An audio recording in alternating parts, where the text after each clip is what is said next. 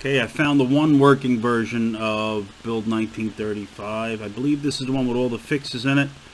You launch it by going into the files, finding the launcher with the red L. Start new game. Continue. And hopefully this works. It's been many years since I played it. I believe you have to go in and uh, tweak the resolutions manually. It's still very buggy. Even though it works, it's still very buggy. You might lose save games. And...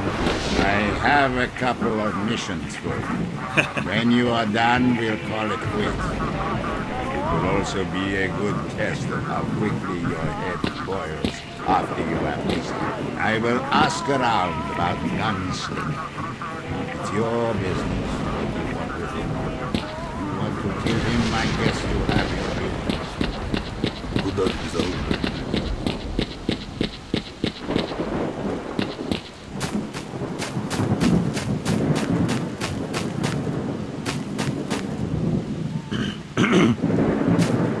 Пятница.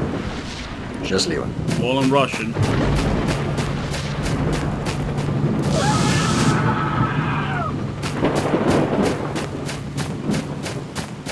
But yeah, this is the original uh, early build of Stalker.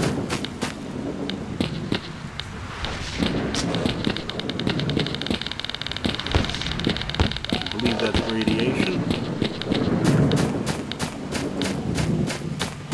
Uh, again, you have to tweak everything, the, the crosshairs and everything manually.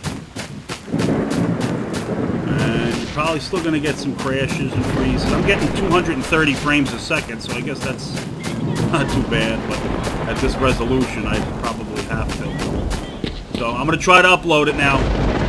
It's bigger than I thought, close to 5 gigabytes, but we'll see.